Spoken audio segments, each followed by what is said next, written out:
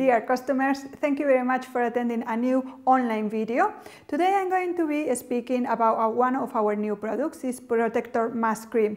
And we can clearly say that we are 100% sure we are the first brand putting in the market the first cream to uh, protect and prevent all the imperfections that we are developing on our skin due to the use on a regular basis of this kind of protection facial mask. If you check the market, the rest of the brands have reorientated their usual products to treat that kind of problems that we might have nowadays on our skin. We are the first one uh, putting that kind of cosmetics into the market.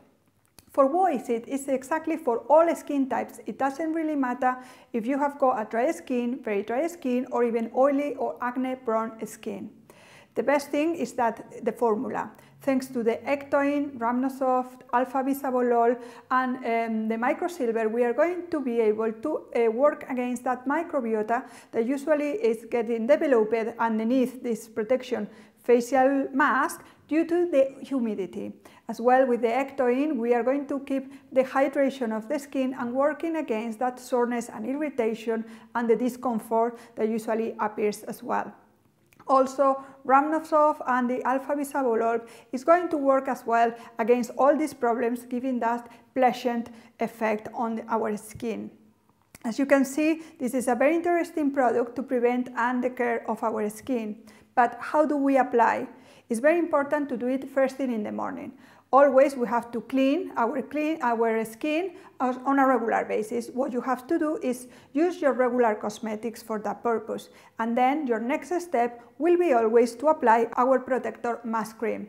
And you will see how the absorption is very fast and how can you feel that second skin effect. And when it's absorbed, all you have to do is apply your regular serum and your regular day cream and even your makeup.